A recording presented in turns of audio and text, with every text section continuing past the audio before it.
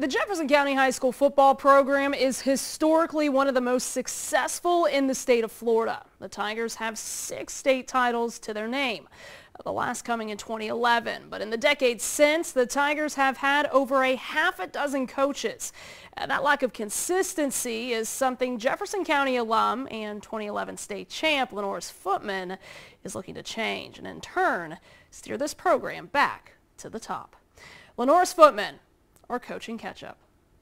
The 22. Lenorris Footman keeps the football. I found myself sitting and, and, reminiscing back to the days when I was walking this same facility as a player. And Lenorris Footman scores. Truly, truly grateful and humble and just trying to lead these guys down the, the right path. It's a path Lenorris Footman knows all too well. He's a Jefferson County grad and is a Tiger through and through. I might have the most pride out of anybody in Monticello. Um, our slogan is actually believe you can win and that just comes from me growing up in the same community. A community he understands. Once the kids can look at somebody who comes from their environment, who beat the, beat the odds that they're facing per se, it makes it a lot easier for them to believe in themselves. Coach Footman led the Tigers to the 2011 Class 1A state championship. He went on to play at Alcorn State. Now he's back at his alma mater as head coach and looking to establish consistency for a program that craves it. Once the kids see that I'm consistent, they see I'm buying in, they see I'm showing up every day for them, they're, they have no choice but to follow the lead. A lead role that's been easy to follow. It hits a little different when you can see your coach in the grocery store.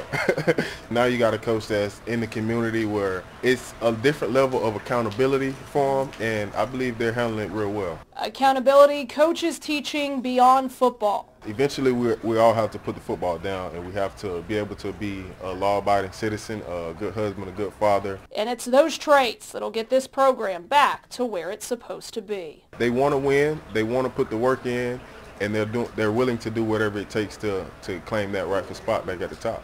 Like they've been so many times before. Now, Coach told us today their offense going to be electrifying. Their goal to bring some swagger back to Jefferson County. Now, Coach calls himself a player's coach. He said sometimes he still feels like he's playing for the Tigers. He said it's still surreal sometimes that he is the head coach, but he is enjoying every moment.